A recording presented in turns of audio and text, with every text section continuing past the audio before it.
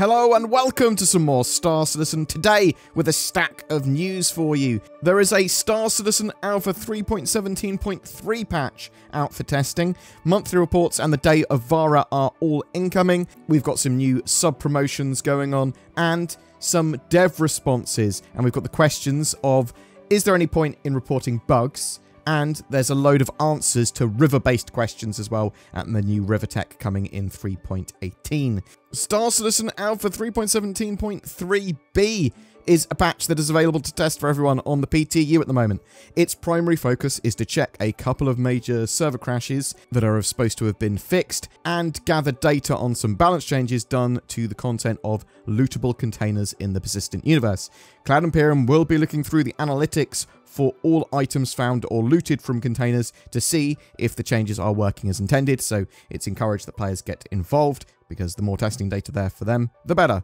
This appears to be a blocker for releasing that Alpha 3.18 persistent entity streaming build to the Evocati. There are some other updates and fixes in the patch too.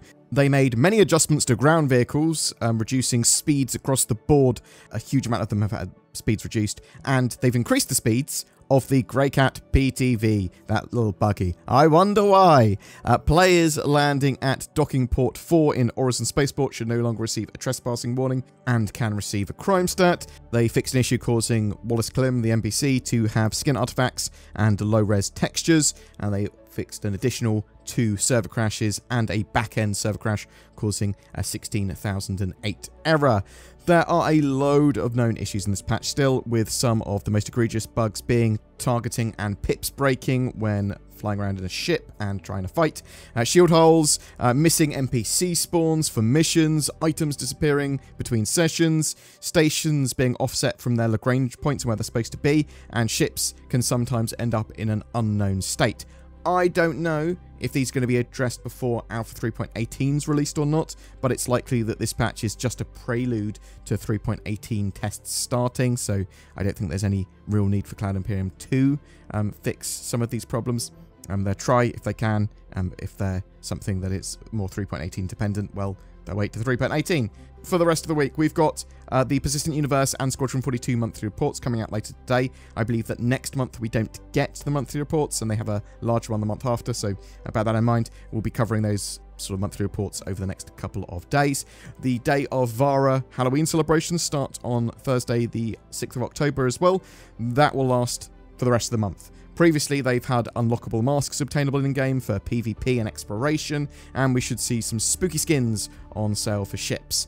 Buyback tokens have had some form of issue with their distribution, so these allow players to repurchase previously melted uh, ships, ships turned into store credit uh, once a quarter by using store credit. You can do that anytime with real money, but you can also use your store credit to do it once a quarter. And if they've not already gone out now, they will go out shortly. The next token is expected around the 10th of January 2023. I saw a dev response that I want to talk about. I'm seeing no benefit in reporting bugs, was the name of the thread on Spectrum I saw this in. The original poster there says he truly wants to participate and uh, sort of report issues. He wants to get involved with bug reporting. However, gets the feeling that it's not worth their time with how things are currently set up for it. They feel the system relies too heavily on players upvoting their issues and that when a report um, you've made is valid and important, but doesn't get upvoted, it can discourage you from participating in the future. Uh, Sylvan CIG responded to this. I'm sorry if you feel that way, and I can totally understand you.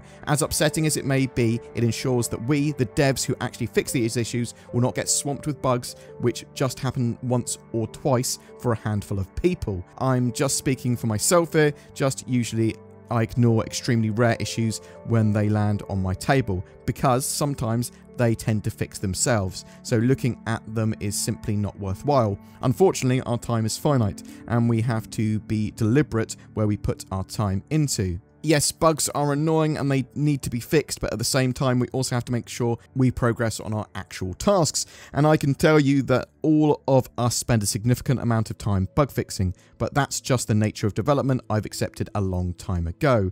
We do also have an automatic system in place which uploads every crash dump to a public database and classifies them, so even if you don't use the issue council, this issue gets tracked and you're helping us by just playing the game. The issue council is really meant to find the most annoying bugs for the community by upvoting. It appears this crash you're having is unique to you. It's hard to say what it is without a crash dump for me to look at, but it may be a unique combination of a hard and software you're using with Windows 11 question mark. Also deleting your user folder might be worth a try. Thanks for your time and concerns making Star Citizen better. Salute! Uh, so, I think that's really uh, quite a good response. It's nice to know that it doesn't matter if you report on the sort of issue council, so a lot of test data is still sort of uh, gathered from crash um, reports and, and, and, logs and that sort of stuff.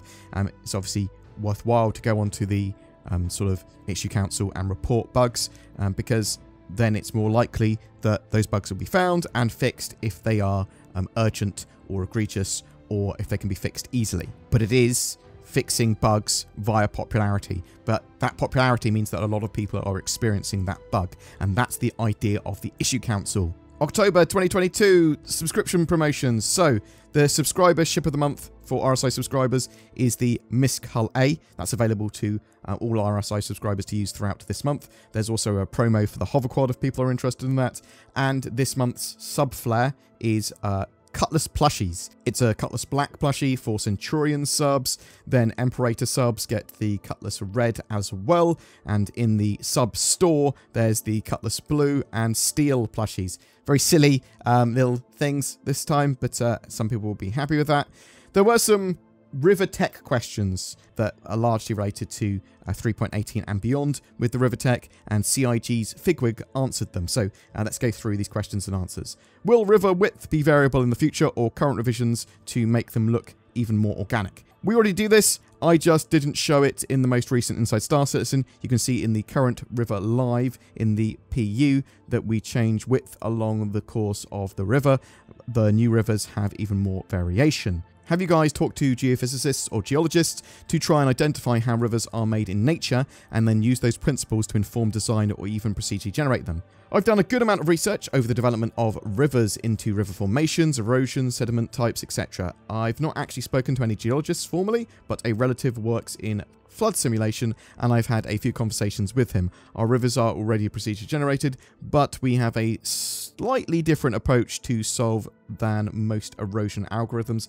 Our planets already have lovely height maps, which are then distributed across the planet, and the terrain is already fixed. So the river erosion simulation is less how would the water shape the landscape, and more where would a river be given this existing landscape.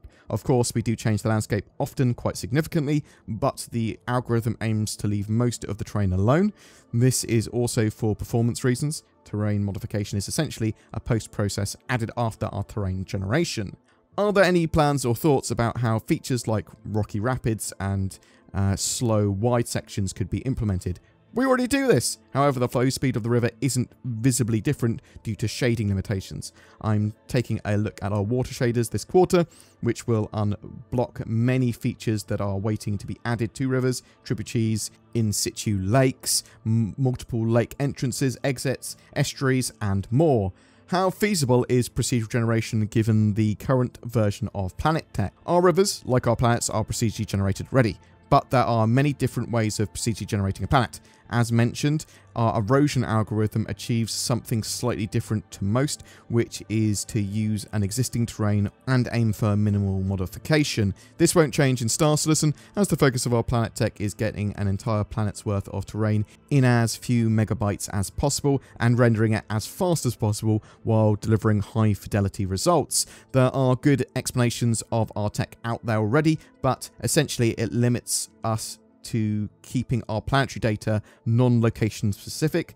We currently store about 32 square kilometers of height maps per planet and extrapolate that data to create the whole planet the same way every time. Storing location specific data for the entire planet would increase our budget from a few megabytes to multiple terabytes, so it's not really viable. Is the water actually there as a 3D substance? Nothing in graphics is truly 3D apart from the volumetric sims, clouds and fog. That said, the water is currently missing physics. This will come, probably when the actor team implements swimming. Water in other games is usually a 2D service, and then underwater fog and physics and audio to make it feel 3D. Our fog underwater is a volumetric fog sim, so that is truly 3D. Once water becomes an obstacle, will we see land bridges and man-made bridges dotted around? I can't commit the locations team to any work, but I'd be surprised if we never saw any bridges, etc.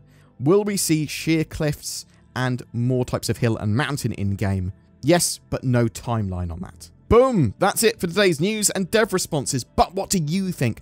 Are you looking forward to the Day of Vara celebrations? Are you going to be testing 3.17.3? Are you hoping that that isn't what we're going to be getting for uh, the Intergalactic Aerospace Expo uh, and uh, later on in November, and that we actually do get a 3.18 release? What are your experiences with bug reporting? Are you excited for a load more improved rivers turning up in Alpha 3.18? Whatever your thoughts, I'd love to hear from you in the comments below. NordCon 2952, the road to Nord 4.0. What do you want out of nordvpn.com slash boredgamer? Nord base building? Nord hunting 2.0? A dynamic Nordonomy? I'm personally looking forward to the latest Nord cruiser. In the meantime, I'm going to make do with NordVPN protecting my data from insidious space pirates and giving me unrivaled access to all the content that the internet has to offer. Use the links below. Note NordCon 2952 does not actually exist. Also adding to my shell pile, Tobii Eye Tracker 5 gives you precise head tracking and control with your eyes.